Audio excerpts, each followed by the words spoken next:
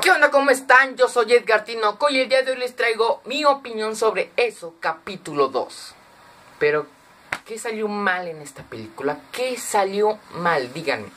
Eso, capítulo 2, sí, cumple con algunas... Pues terroríficos se podría decir, pero no tan terrorífico. Tú me has provocado. Pues, ¿qué les puedo decir de esta película? Yo esperaba cosas mejores. Era mi película de terror más esperada del año. Y fue una enorme, enorme decepción, la verdad.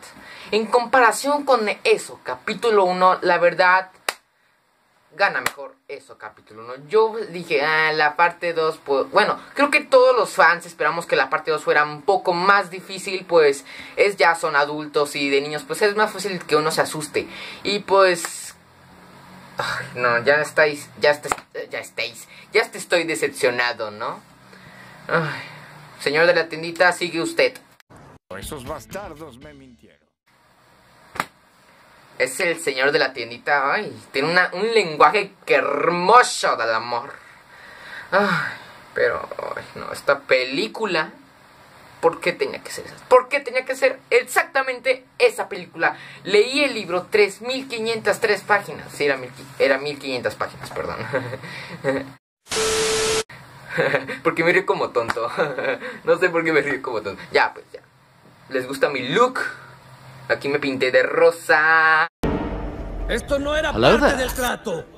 Ah, ah. No voy a cantar porque en el otro video ya me están haciendo bullying. Bueno, con todo mi canal me están haciendo bullying, pero no me importa. Ya me están haciendo bullying. Ese día algo cambió dentro del Otso. Ay, ¿les gusta mi look? Oh, you said sí. Ya, pues ya. Muchísimas gracias. Doy clases los jueves. No cobro mucho. Hablemos ya, vamos al punto eso, capítulo 2, una gran decisión para los fans. O sea, sí está bien que tenga comedia, pero no excesiva comedia. ¡Wow! ¡Más despacio! ¡Velocista! Sí, eh, pues tiene demasiada comedia excesiva. No digo que, no sea, que sea mala la comedia en esta película. Está bien la comedia, como en la 1, pero no tan exagerada. Y luego ponen comedia en las partes más aterradoras. Por ejemplo, es que no voy a decir spoilers, pues yo quiero que ustedes la vean. Bueno, de seguro ya ustedes la vieron, así que voy a decir spoilers, no me importa la... Las partes más aterradoras, más, traumáticas que yo creo que es para mí esta película, que son de esta película, son la de los dos niños, el de los espejos, el de los espejos y el de las el de las gradas de fútbol. La niña, la Becky, Becky, Becky, Becky, Becky, ven para acá. Becky, el que le dice uno, dos,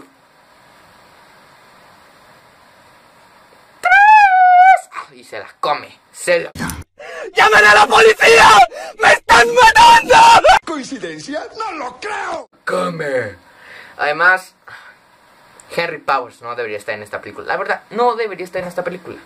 ¿Cómo es que pinches, perdón, cómo es que sobrevivió a esa larga caída? Díganme, que alguien me lo explique, ¿cómo sobrevivió a esa caída?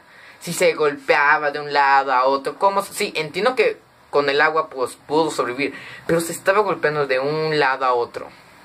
Y la verdad, ¿por qué ponen tantos flashbacks? ¿Por qué ponen esas escenas eliminadas de la primera película? ¡Estúpido! No, no entiendo por qué ponen esas escenas. Sí entiendo que se apegaron demasiado al libro, pero no, no debieron, la verdad. No, no sé.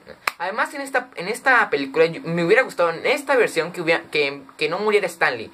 Que los siete perdedores lo vencieran una vez más. No mames, casi me cago del susto.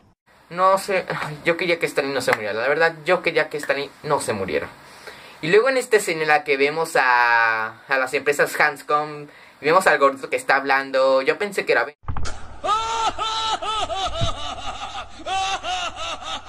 ¡Ay, pero qué idiota! Al principio, pero dije, no, no es Ben. Yo ya había visto a los actores confirmados que iban a salir en la película y vi que el actor que iba a interpretar, que no era Ben, que era el otro que estaba interpretando a Ben, el de la pantallita hermosa. Luego Bill Hader, wow, como Richie Tozier es perfecto, como en el papel de Richie Tozier. Es igualito a Finn Wolfhard. Si lo ven, es igualito.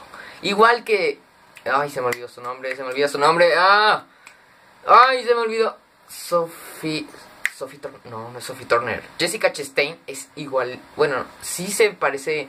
Como que tiene rasgos similares a Sofía Lillis en Beverly Marsh. Queda perfecta en el papel de Beverly Marsh, perdón, pero sí.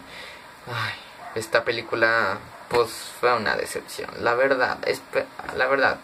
¿Sí o no? Y luego la escena final, no, ya, ya me estaba durmiendo. Al fin te atrapé, esponja. Esto de que el ritual de shoot es una farsa, no, no, es, no. Luego Eddie muriendo, haciendo un chiste a plena muerte. No, esta película neta me decepcionó un poco. O sea, sí, como que se perdió, ni sé cómo decirlo, lo sutil, lo terrorífico, lo macabro de Derry. Sí, y no, no sé por qué desaparece su, su promesa, su... Lo que hicieron con el vidrio, no sé por qué desapareció. Creo que es ilógico para todos el por qué desapareció esa marca. Y luego la escena de... Ah, les digo que escena me gustó más, la del restaurante chino, la de la reunión del Club de los Perdedores, me gustó demasiado. Y luego la parte final, no la parte final que dije del ritual de shoot, no, la parte final, ya final, en la que leen la carta de Stan, neta, fue muy conmovedor. Yo lloré en ese momento, dijo, todos somos perdedores. Estoy orgullosamente de ser perdedor, mijo. Sí, esa parte lloró. Ah, y luego las escenas que cuando se reflejan en el espejo y se ven así mismo niños de cuando terminaron con según eso terminaron con eso en el primer capítulo se ve lo que pasó después y escenas que bueno, como hay flashbacks que sí están aceptables, pero hay otros que no. Sí, se ven, son excusas tontas, nada más. Excusas tontas, ¿eh? Que... No, neta no. Andre Muschietti hizo un buen trabajo en la primera película, en el eso capítulo 1. Pero en esos capítulos no sé qué pasó, dijo, se confió para mí, se confió. Yo digo, dijo, ah, una buena película. Ahí está. Yo puedo jugar en esta. La verdad, hay que ser sinceros. ¿Qué te pasó, Andy Muschietti? Luego, ahí sí, cambio sorpresa. Vemos a Stephen King, vemos a Andy Muschietti, ahí mismo, el productor de eso, capítulo 1 y la 2. Y luego se está pensando en hacer una precuela de It, pero ya vimos que las precuelas no han funcionado bien en el cine de terror. Ya tenemos al conjuro, a Annabelle. No, no, no. Annabelle, pues sí, empezaron haciendo Annabelle, el conjuro, empezaron, empezaron siendo buenas películas que... Ay, ya está. Mío. Que la verdad sí hasta me daba, hasta daba miedo. Pero con precuelas, segundas partes, no, no, no, ya. Pero les tengo que les tengo que confesar que la tercera parte de la película, la tercera película de Annabelle, Vuelve a casa, estuvo buenísima. Pues fue como que la segunda película no vi ni la 1 ni la 2 porque era muy niño y me daba mucho, me daba mucho miedo. El conjuro pues también me da miedo, pero yo oí y me, dijeron que lo que pasaba eh, y dijeron que era muy mala ya, que fue empeorando. Pues qué les digo, no, pues esta película yo le voy a dar un pues que será bueno, me van a matar. Me van a hacer papilla. Yo digo que un unas 6 sillas de 10. Y mi clasificación para eso, capítulo 1, capítulo 1, eh, no se me capítulo 1 es...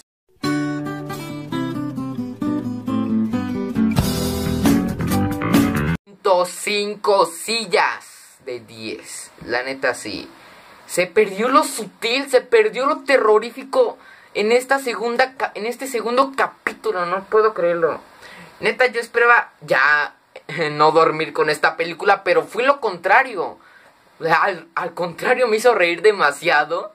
Y luego cuando están en esta escena de cuando bajan el... cuando Perdón, pero... Es que está en la parte de edición y vi que me faltaba mi despedida. Así que yo fui Edgar Tinoco y espero que te haya gustado este video. Síguele porque hay una sorpresa. Bueno, no sorpresitas. Tú síguele ya. Y... Bye.